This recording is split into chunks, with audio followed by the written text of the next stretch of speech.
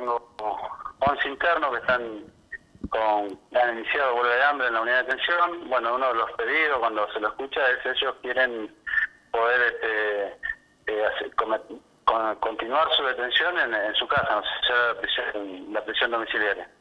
En Ushuaia tengo dos internos que, que están con huelga de hambre.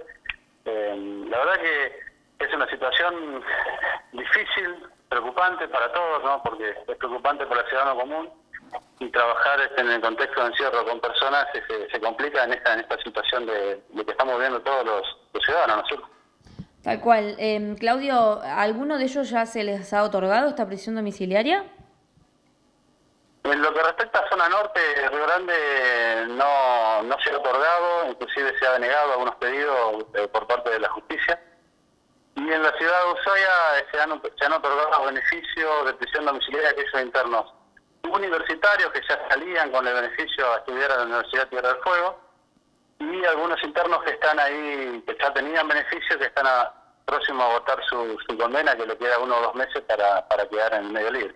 Cuando empezó la pandemia, lo que se hizo ambas ambas jurisdicciones, zona, zona sur y norte, fue suspender todos los beneficios que tenían los internos. Esto quiere decir que aquel que tenía semi-libertad, que salía a trabajar o, o que tenía eh, permiso para ir a estudiar de lunes a viernes, esos internos eh, se les suspendió y volvieron a ser alojados en, el- en- en la alcaldía, ya sea en la unidad de atención Río Grande o en la alcaldía de Ushuaia. ¿Cómo es el estado de salud de aquellos que están llevando adelante la, la huelga de hambre ya hace cuántos días? Algunos empezaron, tres empezaron el viernes y algunos se acoplaron el sábado. Eh, la verdad que se lo chequea a través del área de sanidad de, de- de ambas unidades, o sea, Ushuaia Río Grande. Y hoy este, el estado de salud de ellos es, es óptimo, es bueno. El trabajo que llevan adelante tanto en la unidad de, de Río Grande como en la de Ushuaia, bueno, desde que comenzó esta cuarentena y todos los protocolos que, que llevan adelante, ¿cuáles son?